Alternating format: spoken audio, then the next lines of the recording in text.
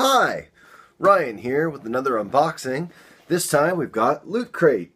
Loot Crate is a monthly subscription that you can order online and you can do it in one, three, or six month installments. Now, enough of me being tacky and let's get to the unboxing. Alright, enough of that. Um, the theme for this month I believe was fear and um, for those of you that use the Loot Crate app, um, stay off of it when they're getting ready to mail out boxes. Because uh, for the most part, uh, this kind of got ruined for me because I use the Loot Crate app. I made a video trying to warn people that use the Loot Crate app, you know, don't post anything out of respect, or if you do, do it in the comments, you know, but whatever. I think I'm just going to stop using the app when they're getting ready to release it, so there's my official do-do-do. And it's open. And it looks like they did another theme thing. Cool. Alright, so I'll put this off to the side here and reach in and pull things out one at a time. Okay, so without looking, we've got, what is this? That's, oh, it's a shirt. Okay, we have a shirt. Okay, now I understand what this is about. So it's a little skull. That's kind of cute. And if you look closely enough, closer, closer, you can see it's done entirely out of cats. Oh my god, that's that's really cool. I like that. I Oh, that's cool. I like that. I like that. I'll have to try that on sometime.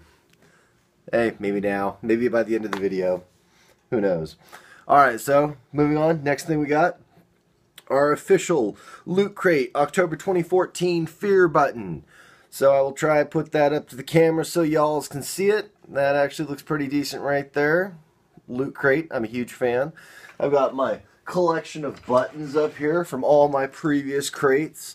I know that that doesn't really show you, but yeah, you know, ooh ah, ooh ah. So this is just going to go right in with my button collection of Loot Crate boxes that I have gotten.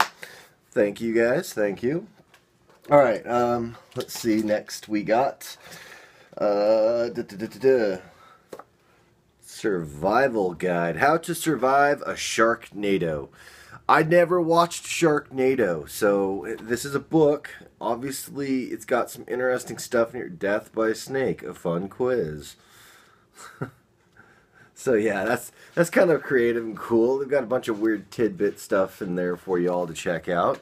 Um, yeah, I'll give it a. And you know what's funny?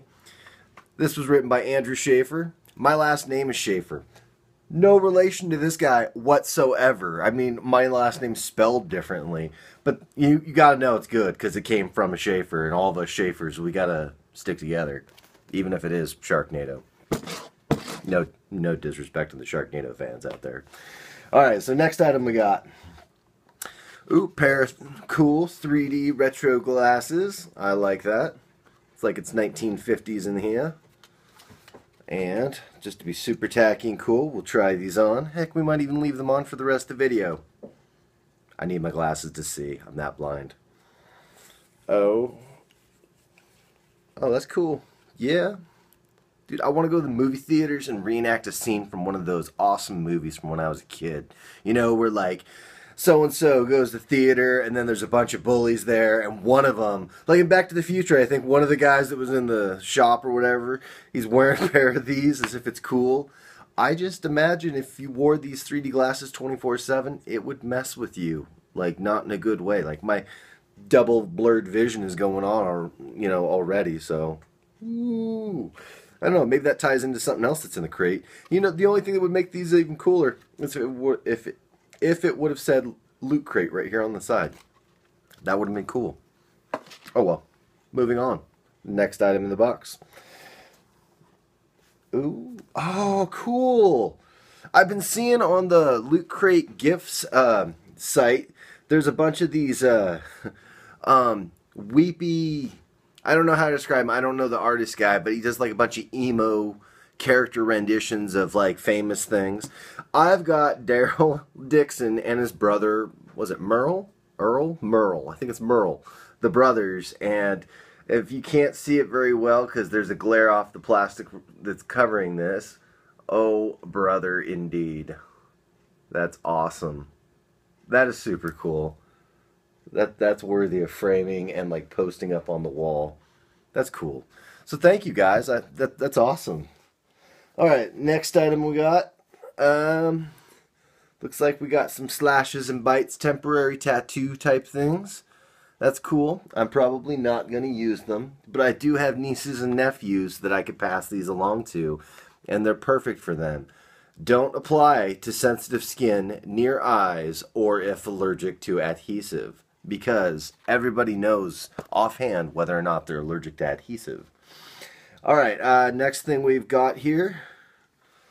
Curse, enjoy the game. Cursevoice.com. Uh, there's a little code at the bottom there. So I have no idea what this is.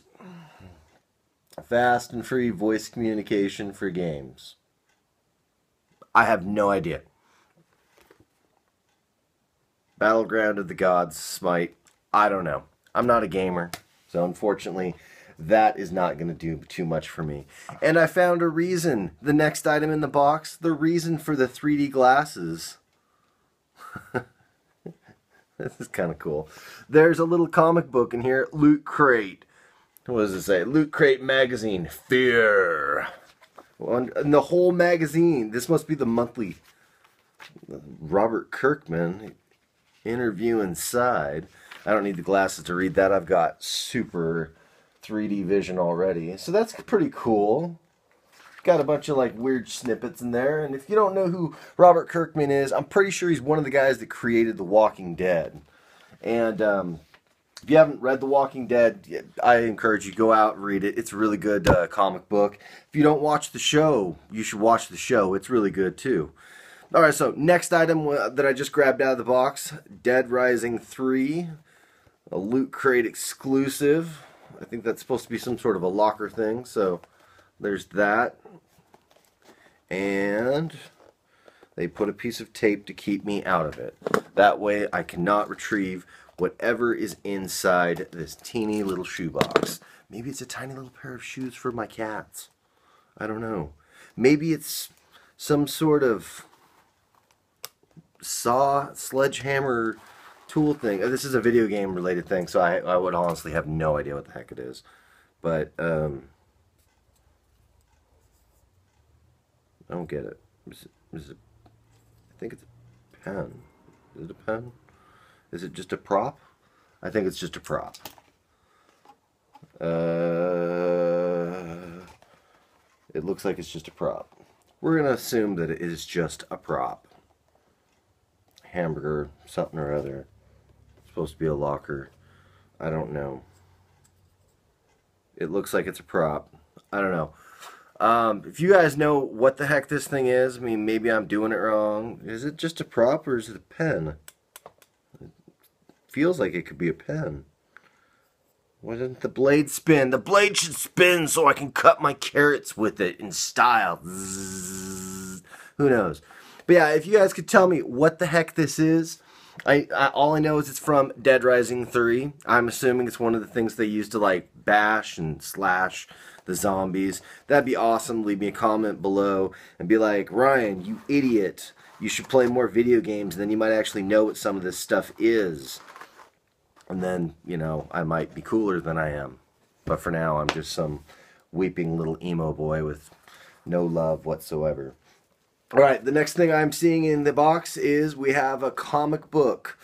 Uh, Loot Crate exclusive, Walking Dead. Is, does it have a number on it? 132 Happiness. That's pretty cool.